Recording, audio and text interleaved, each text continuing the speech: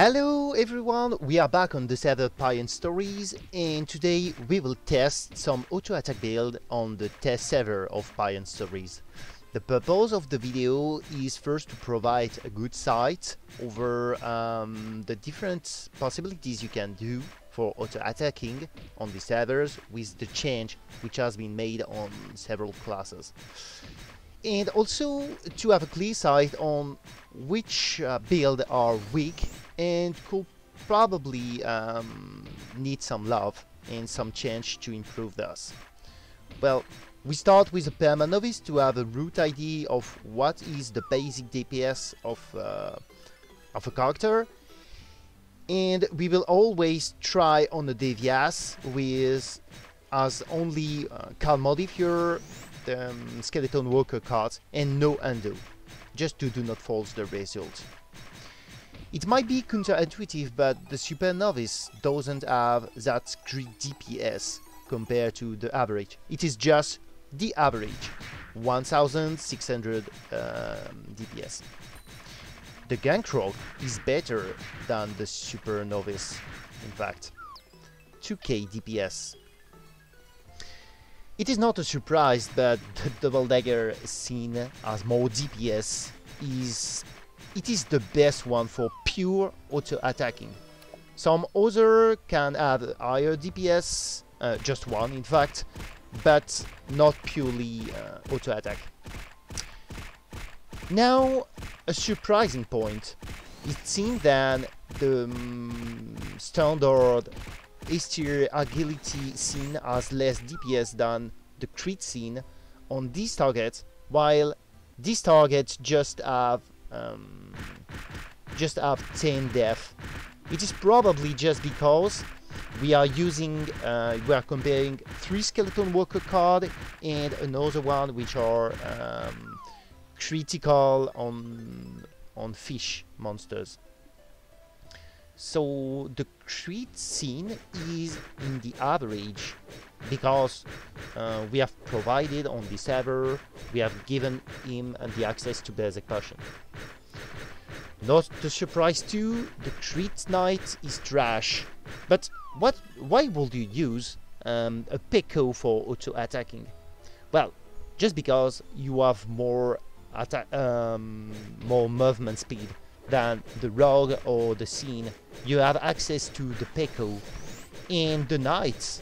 Well, the good point about the knight is without lowering his DPS, he can still have access to Bowling Bash if he find a big pack of mob, contrary to the rogue, which will need to give up triple attack to get access to Bowling Bash. But, well, he has his own um, AoE skill too. If you want to do pure to attack with a Peko, you should probably go for a cruise, uh, spear cruiser, because you can see that the DPS is more comparable to the double dagger scene than uh, than others. It's even better than the rogue. So the rogue can gank, auto steal, but the cruiser has more DPS and more movement speed. Now a man build the um, the battle wizard. It doesn't make much sense to make such build, and your only advantage is defense. You have access to Quagmire to get uh, just a crazy flee, which also work on um, bosses, and you have also access to Safety Wall.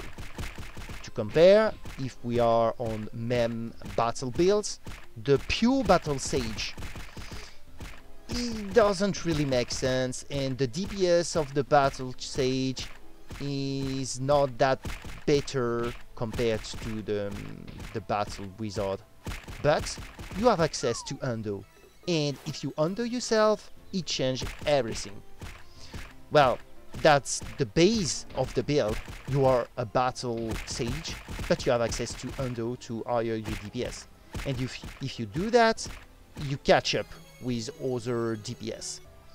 But the point is, on Payon Stories, we have uh, make scrolls for self-endow a bit more accessible, so it's relatively nerf this battle build. Now, another build for Sage, the hindsight uh, hindsight sage. The hindsight has more DPS than the the battle uh, sage. You can see, well, 4,000, 2,000. That's very uh, random because you depend on two random factor. First, you need undo to proc, and then a high level of undo to proc on this uh, undo, which um, make it not really reliable at all.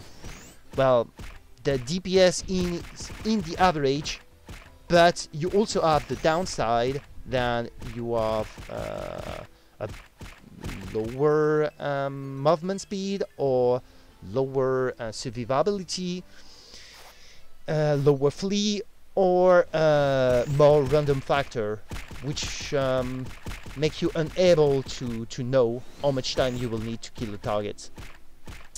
The battle hindsights, so a balance build, which are enabled with the new welder card, permits to have a better DPS than um, than others.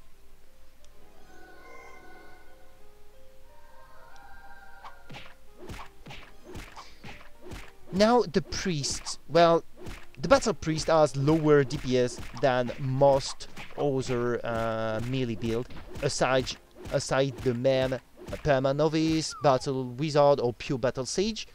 But it is a support, so it's still good because people will want to party with you. It's a good, it's a good character to party with people and have fun. To compare in the battle acolytes, uh, well, you have one of the strongest, the no combo monk, pure agility monk, which has no other combos than just triple attack, and the DPS is just crazy.